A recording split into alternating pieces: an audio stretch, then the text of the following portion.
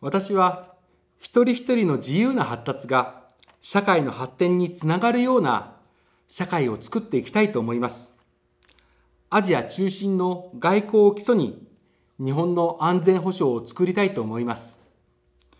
日本の貿易相手国、輸出も輸入も第1位は中国です。全体の半分がアジアとの貿易です。アメリカの窓から世界を見るという日米安保の枠から抜け出すことが必要ではないでしょうか。また、どんな問題も物理的な対応を退け、話し合いによって解決する。これは今の憲法が力となります。日本から軍縮の波を作ることで、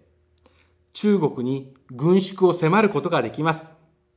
中国も国際社会の一員ですから、無法なことばかりはできません。子供たちが頑張れる環境を作るのが大人の仕事です。教育基本法の第1条で、教育の目的は個人の人格完成が目的となっています。わかる喜び、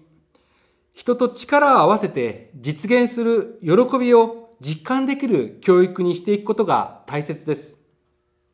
まず、世界で当たり前となっている教育費の無料化、少人数学級の実現が必要です。また、子供の権利委員会からの勧告、高度に競争主義的とか、子供の権利を持った人間として尊重しない伝統的な見方などの国連からの是正勧告を受け入れて改善する必要があります。また、いじめ問題の解決に向けて、教育現場と地域社会の連携、学校などの安全配慮義務を明確にするとともに、カウンセラーや保健の先生の増員などが必要と考えています。今の